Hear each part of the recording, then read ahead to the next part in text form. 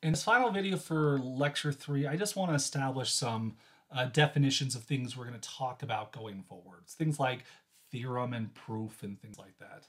Um, a theorem is a statement which can be proven to be true. So it's a statement that's necessarily true, but it also has a proof behind it. Well, what's a proof? A proof is a mathematical argument which logically, which is logically valid and sound, which explains without any ambiguity whatsoever why the statement is true. So it's an argument that provides the truthfulness of a theorem, and we know it's true. There's no doubt amongst it. Okay, that's what a proof is. Now, mathematical research. Uh, that is what, what do what do professional mathematicians do? They do research, and this mathematical research stands upon three essential pillars. Um, so the first pillar would be like introducing new or novel concepts or methods. So you come up with new stuff, new ideas. That's one thing that researchers do. Um, typically, new ideas to solve old problems.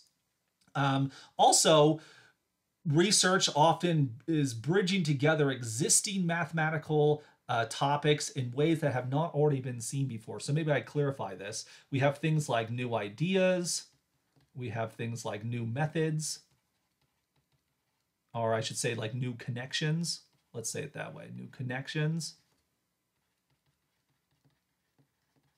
And then thirdly, when it comes to mathematical research, uh, the last part basically comes down to proofs, right? We prove things. Uh, we prove new white, we prove theorems, thus give truth to things we didn't know before. This last pillar is one of the most, uh, is one of the most that we do. Like as in for mathematical writing often revolves around this type of thing. And that's why a class like Math 3120 transition to advanced mathematics focuses so much on proof writing. Um, this is a mathematical communication class, but we focus so much on proof writing because that's actually the type of communication that uh, mathematicians do the most. And while in what's sometimes called pure mathematics, which is basically exclusively focused on proofs, um, I don't want you to think that if you're in other branches of mathematics like statistics, applied math, education, data science, they do proof writing too. Now, their proofs might take on different uh, a different style than perhaps in pure mathematics. But proof writing is ever present in all of the mathematical sciences. There's a lot of emphasis that's put onto it, which is why we talk about theorems and proofs all the stinking time. Now, uh, you certainly have encountered many theorems prior to this moment, and maybe you've seen some of their proofs as well, although that's usually not as much uh, as much common. Many of these proofs might have big fancy names like the fundamental theorem of algebra or the intermediate value theorem. Uh, they're given such names so that mathematicians and students like yourselves can refer back to them by name as justification for other mathematical results or calculations. Like that is, we might be like, oh, this proof follows by the mean value theorem. This happens all the time. We have seen a few theorems already in this course. We typically didn't call them theorems because we didn't actually define what theorem is yet, but they really were theorems. They were mathematical statements which we proved to be true.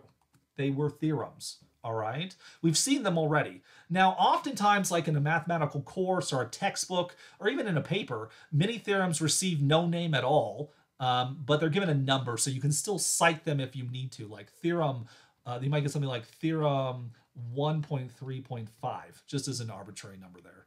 This happens so that readers can reference back to them or they themselves can justify their calculations or their proofs using this theorem. So you might say something like, oh, in in the paper by Misseldine 2014, uh, you are referencing theorem 135 and your result then follows, something like that. I'm citing myself here just because, just for the sake of example here. Um, so th- we have to reference theorems all the time, so we often give them a label so we can refer back to them. Uh, so an example of this might look like something like the following, for which now we know that this set of vectors is linearly independent by theorem 2.3.4. Um, this th- this this sentence is ripped right out of my linear algebra textbook called Linear Algebra Done Openly, um, and so this is an actual theorem in the book, and we've established the linear independence of vectors by that theorem. So this is how we write mathematics. We reference a theorem that just has a number to justify a later result. So it's important to number our theorems and to give them proofs. Now, the term theorem is often reserved for major results, where here major is describing either the difficulty of the proof or the importance of the statement and its consequences. Uh, so there's a little bit of leeway on what is a major result or not. A major result is typically called a theorem. Um, now, other statements which are true by proof, which are technically theorems, will typically be given a different name. So the major results are are theorems. The fundamental theorems, of course, are the biggest, most important of the entire discipline, right? Um, conversely, a proposition is a proven statement which might be of less significance um, or has an easier proof. So it's a, it's a lesser statement. The theorems are the big ones. The propositions are the less ones. Um, there's also something called a corollary. Um, sometimes when you when you have a proof, there's another result that's useful that the proof is so short or so immediate from the theorem that we call it a corollary. So it's like an immediate consequence of the theorem that's worth mentioning, um, but still it's pretty easy to prove. And sometimes corollaries don't get proofs. That is, they don't write them down because they're so straightforward. That's not always the best practice, but sometimes it is. It, depends. Um, and then there's one other there's one other type of statement we should talk about. That is a lemma. We talked about Euclid's lemma in a previous video for this lecture here. A lemma is a helper theorem. That is, the theorem by its the, the statement by itself might not be super useful, but you use it to prove other theorems with such high frequency that it's dubbed a lemma. It helps you prove other other theorems. And that's because proofs of theorems can start to get longer and longer and longer and longer, that to help parse it and make it easier to read, you break it up into lemmas. Much like Euclid's lemma we used to prove a previous theorem as well.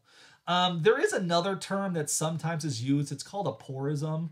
A porism is a statement you prove in a proof that you weren't trying to prove, you're trying to prove something else, but it turns out to be so useful, you adopt it as a standalone theorem itself um, it's kind of like you accidentally found an interesting mathematical result. And for that reason, you can kind of see why people avoid it. Um, if it really was that useful, you could probably rewrite your proof to first prove the porism as a lemma, and then you use that lemma to prove the theorem. Honestly, a lot of people don't like use porisms because I think they suggest a little bit of incompetence. It's like you didn't see that one coming. Uh, whoops a daisy. So I guess it's like the emperor's new clothes or something. No one wants to say they have a porism. So when they ever is one, they usually rewrite it as a lemma. So I mention it, but you rarely, rarely ever see them.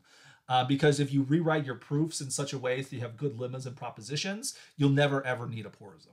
All right. And so that brings us to the end of lecture three. Thanks for watching. If you learned anything about theorems or subsets in this lecture, please like these videos. Um, subscribe to the channel to see more videos like this in the future. And if you have any questions, please post them in the comments below, and I'll be glad to answer them as soon as I can. Thank you, everyone.